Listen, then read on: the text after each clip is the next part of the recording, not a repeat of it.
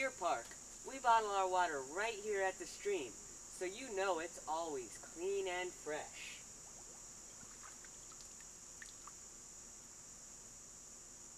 Mmm.